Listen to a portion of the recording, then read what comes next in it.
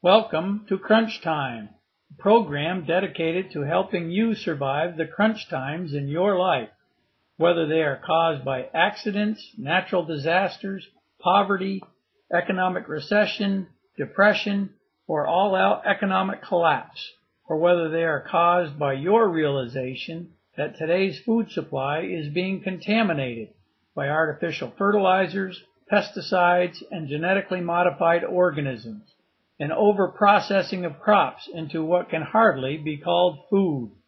We want to help you through the crunch times in your future by teaching you what we have learned about organic gardening, food storage, and food preparation. We'll bring you into our kitchen and into our garden and share with you what we have learned, hopefully before your crunch times arrive. Now here is Chef Francois. Here's Ruby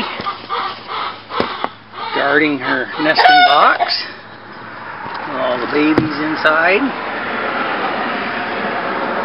Making sure nobody gets close to them.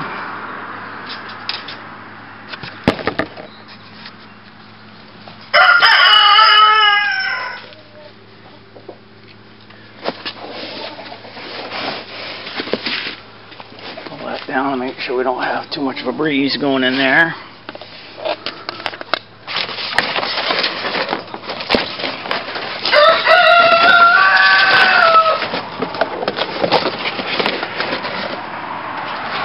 That's better. Hey, Michael Moore and Argyle have done their thing.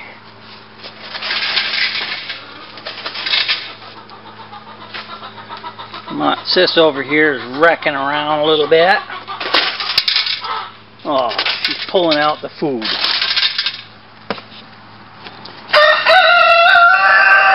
You're not allowed to do that. Getting it all over the floor.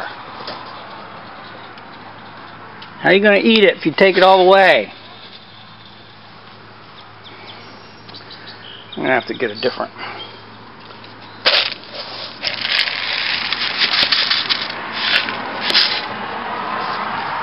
have to get a different uh, feeder for her.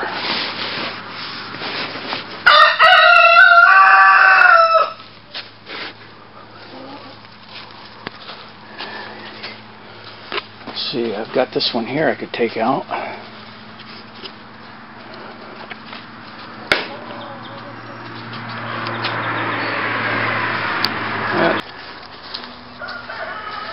Now my cherry trees I've got planted with these buckets and internal clear plastic thing inside. And nice day today so I'm going to let them get some sun. So I'm going to water them quite a bit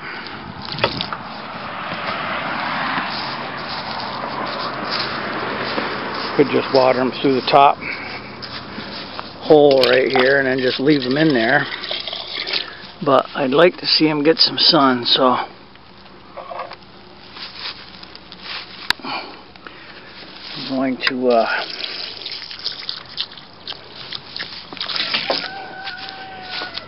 take those off.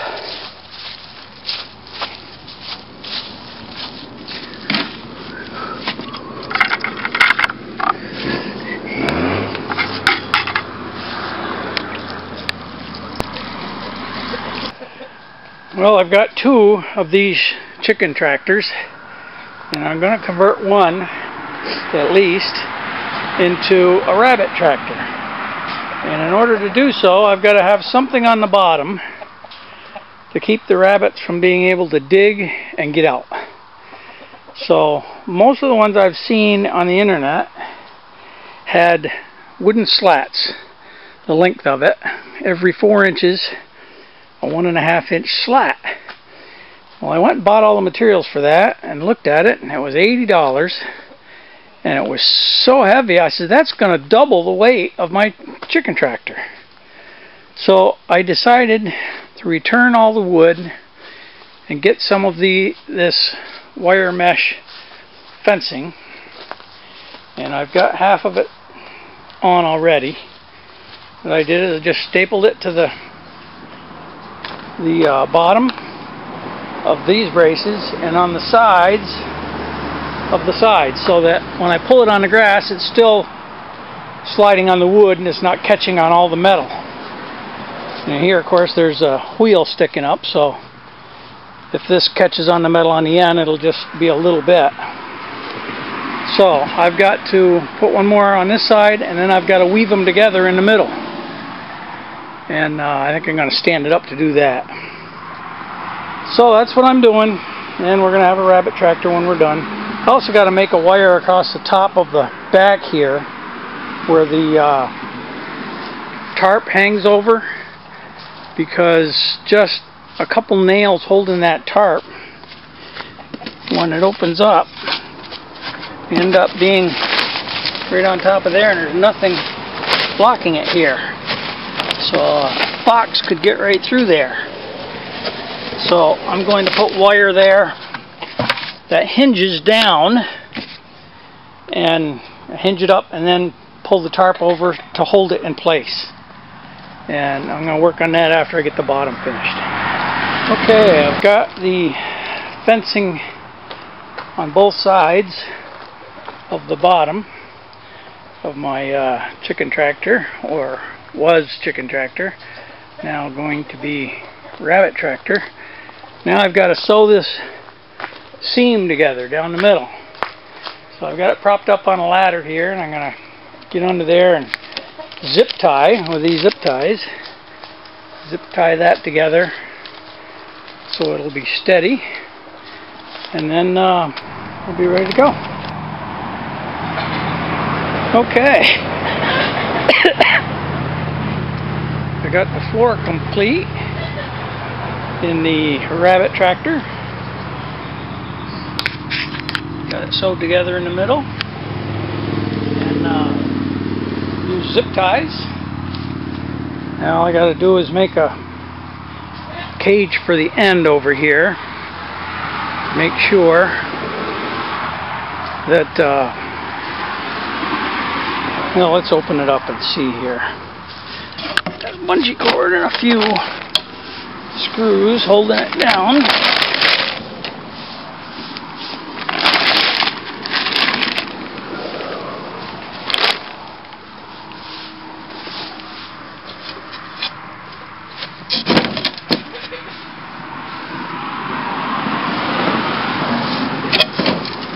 Nesting boxes are fairly clean. Feed trough is clean. Watering dish we could clean out a little bit I guess.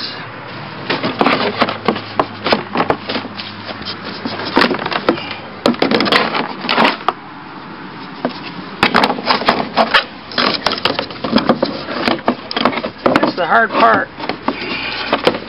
of this whole rabbit tractor is going to be how am I going to catch the rabbits when it's time to take them out because gee I can't get in there and run around. Guess I could pick up this end of it. I think I'll put one more zip tie right here because those are separating a little bit. I pick up this end of it and they all went to that end. And open up the end, I could reach in and get them, I guess, or something. Be kind of hard to pick up this end, though. But anyway, to reach in and put one more zip tie. Well, three apple trees we already had planted up there. And then where the white buckets are, cherry trees. And then down on this end, I just planted three more apple trees one of which cost a hundred dollars. I only paid I don't know less than ten dollars for these cherry trees and twelve ninety nine for the apple trees back there. But the one down here is four and one. Four different varieties of apples all on one tree. Plus it's grown more, so it's already got leaves on it. You can see it down there. These buckets are cherry trees. And then the three mounds down here are apple trees. One is a red delicious, and then the four and one. Here's a four and one right here.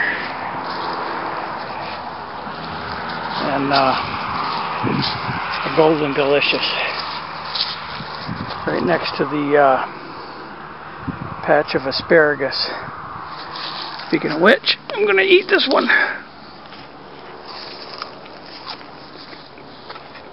So, if the frost doesn't come and kill it, that is a hundred dollar tree.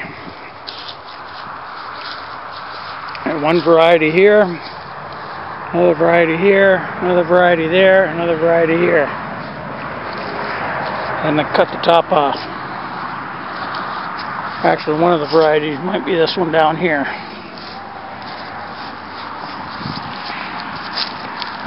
So, that's what we got today. Sore feet from working. Up here in the garden section, I have started growing some cool weather crops. We've got lettuce, two different kinds in this first row.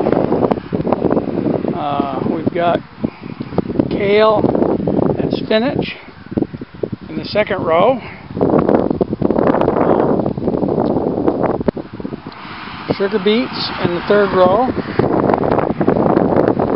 And the fourth row I just did today. And I did uh, two rows of carrots and one row of mangels, giant yellow beets, as fodder to feed to the chickens.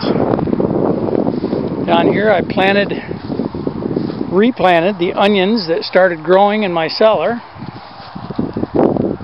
You can see them right there. And in this row down here, I planted giant rutabagas that I had in my garage over the winter. And uh, hopefully at least two of them will grow we can get some seeds. Though I do have plenty of seeds I haven't used. They're getting old. So the onions look good. Further down we got strawberries, two rows. Two rows of garlic that died over the winter because they didn't have any snow covering them. Two more rows of strawberries. And down on that end I got two rows of strawberries down there. Hopefully it'll rain tonight and give the strawberries some water. I don't know where my hose is.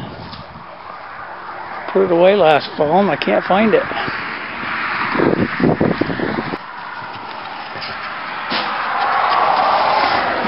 Alrighty, let's see what we got for little buddies down here. I see a nice dark one and a nice light one.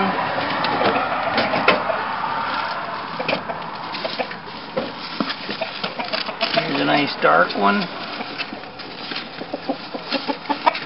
Another nice dark one. A nice light one. Another nice light one.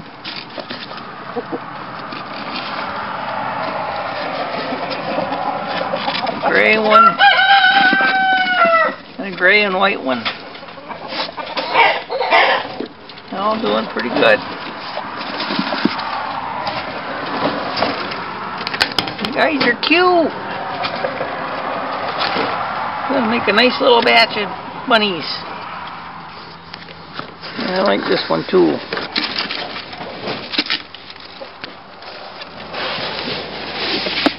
She's a good mama.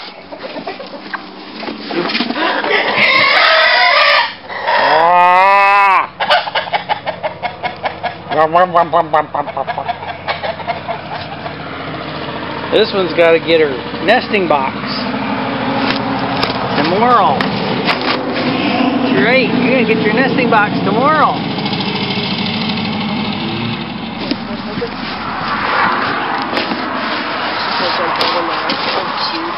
Can you get her out? I can. She upset that you're. Oh my gosh. Here's a light colored one. Oh no. Oh my goodness. Oh Here's a dark colored one. How many are there? Oh my god, Six. they're adorable. Another light one. Are you taping? Yep. Another gray one. Another gray one.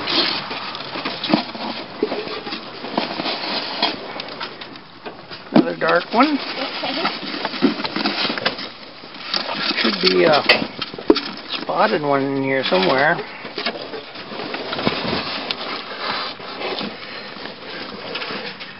Oh, we're sleeping pretty well, so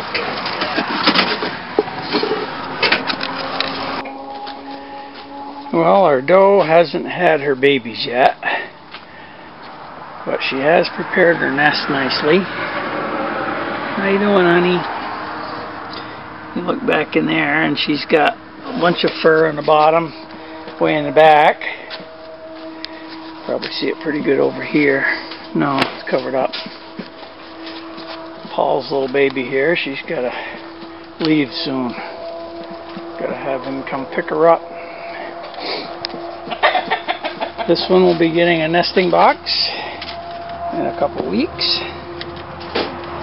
That's Argyle. She's got Michael Moore.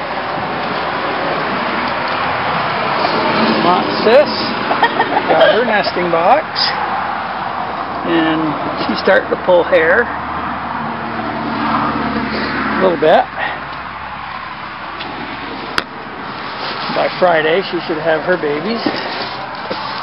Here's Ruby. And her babies are doing just fine down in there. So I'm going to leave them alone. Maybe give Ruby a little bit more feed and water.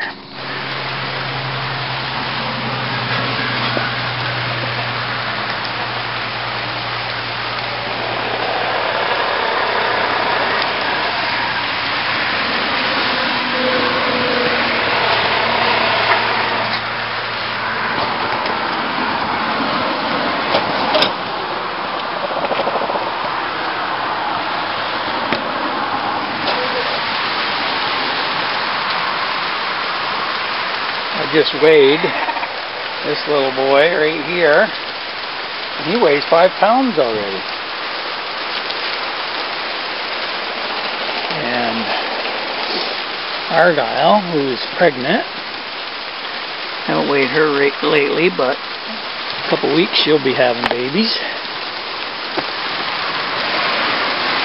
And of course, Vermont Sis will be having babies uh, Friday. Today's Wednesday. Let's go see how the two bunnies in the tractor are doing.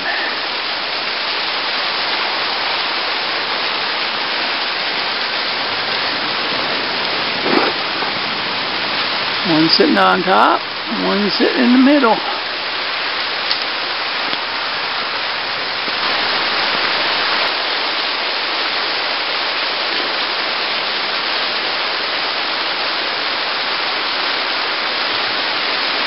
Bunnies are cute.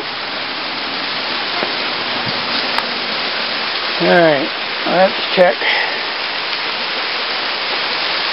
the banana plants. See how warm it is in there today.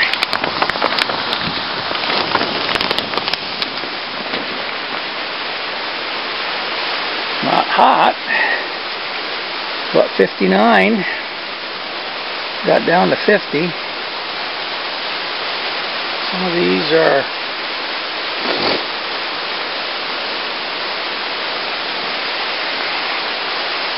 they're growing big, but some of them are having problems.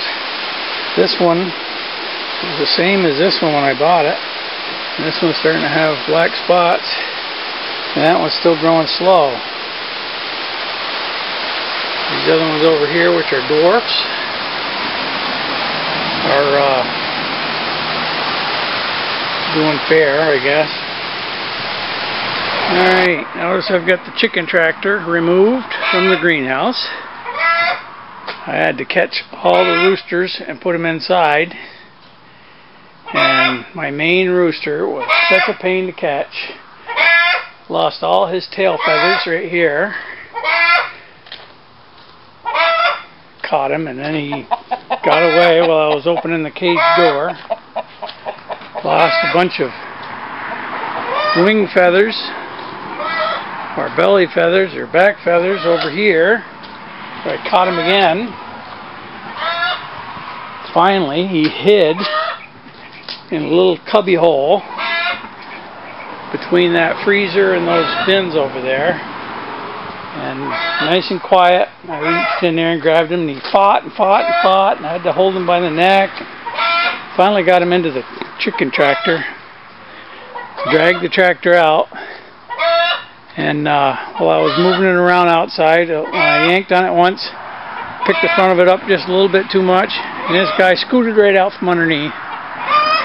He was on the outside for a while. I put a, a fence up to try to corral him in. He flew over top of the fence. Put this up. He flew over top of this. And uh, I finally got him caught inside this section here. I don't know how I'm going to get a hold of him so I can bring him out to the chicken tractor. But the hens are inside the chicken coop complaining. And uh, rabbit tractor had to move over a little bit. So anyway, I did find out how many bunnies uh, Vermont White had, and she only had two. Two bunnies. I don't know if we'll be able to see them, but no, they're all covered up with fur. This little guy belongs to Paul. You gotta come get him. Got the two over there in the tractor I gotta figure out what to do with. And uh, this one and this one are gonna be having babies in the next couple weeks. This one here should be in the next couple days. She's just sitting there. She's got her nest started fairly well. I'm gonna give her some more hay. You be quiet.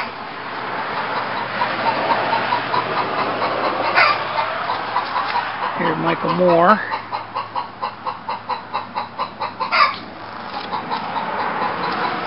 And here's Vermont Sis. You know, this is Argyle. Anyway. Well, I got the chicken tractor out here on the first couple rows where the potatoes were last year. Hopefully these guys will dig it up and eat most of the grass. You guys doing okay now? One of them without a tail way underneath. You guys got lots to eat out here. Have fun. Alright, I'm gonna go home for now. Well, for no reason, these three chicks are hiding in the corner over there.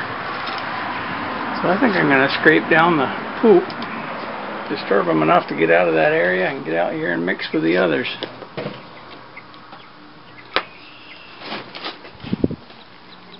You guys will be nice. Won't ya?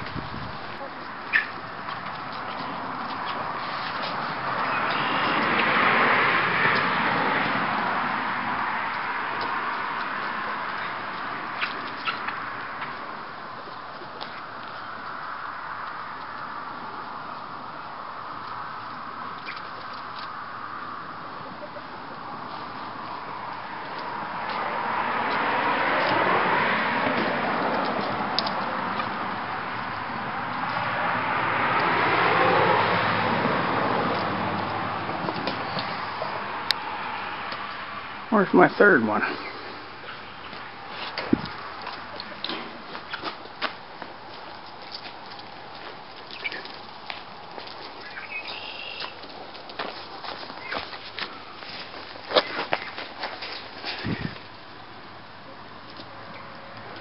There she is, way in the corner.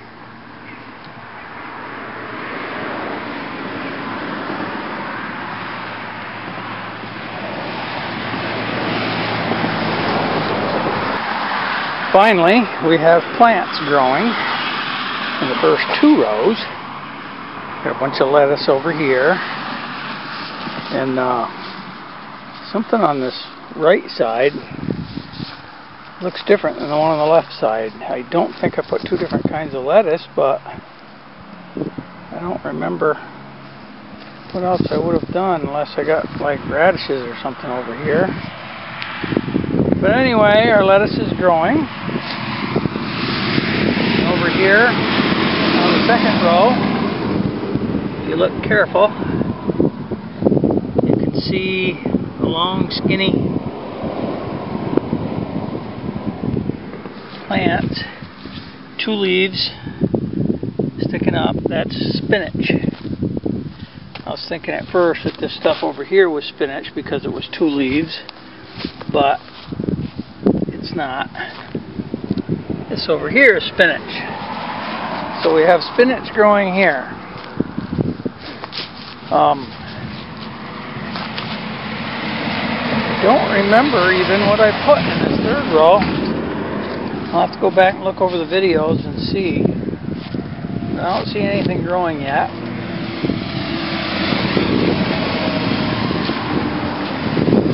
The fourth row, I know I put sugar beets. I think. In the first two rows, you can see that I made three different stripes with my concrete rake. And I'm pretty sure I put sugar beets in the first two and mangels in the third. Not for sure, but Alright, let's go see how our onions are doing after two nights below below freezing.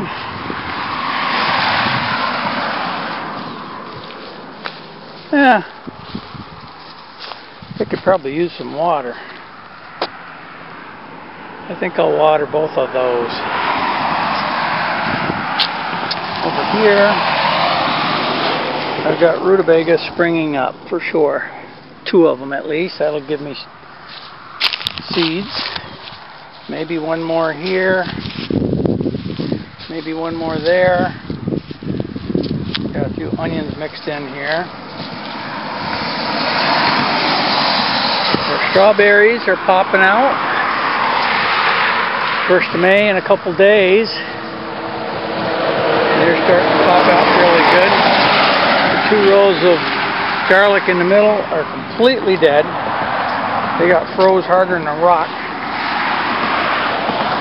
Alright, I'm gonna water the onions before I leave. But at least stuff over here is getting started. Oh, I put carrots in one of these. Maybe that's what I did in the... Actually, I may have done sugar beets in this one carrots in the first two rows of this one and then um, mangels in the backside. Carrots take a lot longer to come up, so that's alright.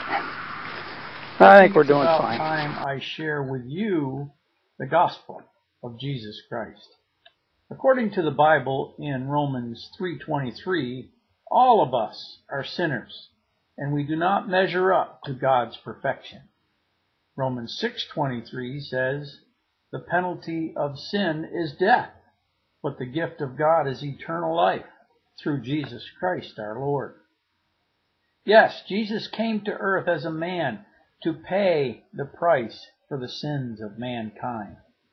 Romans 10:13 says, "Whosoever shall call upon the name of the Lord shall be saved."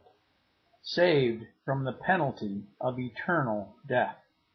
The payment Jesus made for our sins is only available to those who believe and trust in His fulfillment of God's promise to save the world from their sins. If you want to take part of the resurrection of life, you must believe and accept the gift of eternal life that Jesus has provided. Or you could reject the gift and take part in the resurrection of damnation unto eternal death. God loves you and has provided a means of eternal life if you will believe and accept the gift. I have accepted and my life has been changed as the Bible tells us it would. I'd like you to consider joining me and all of God's disciples in eternal life. If you want more information, you can email me at crunchtime at roadrunner.com. Until next week, God bless you and yours. And we'll see you again on Crunch Time with Chef Francois.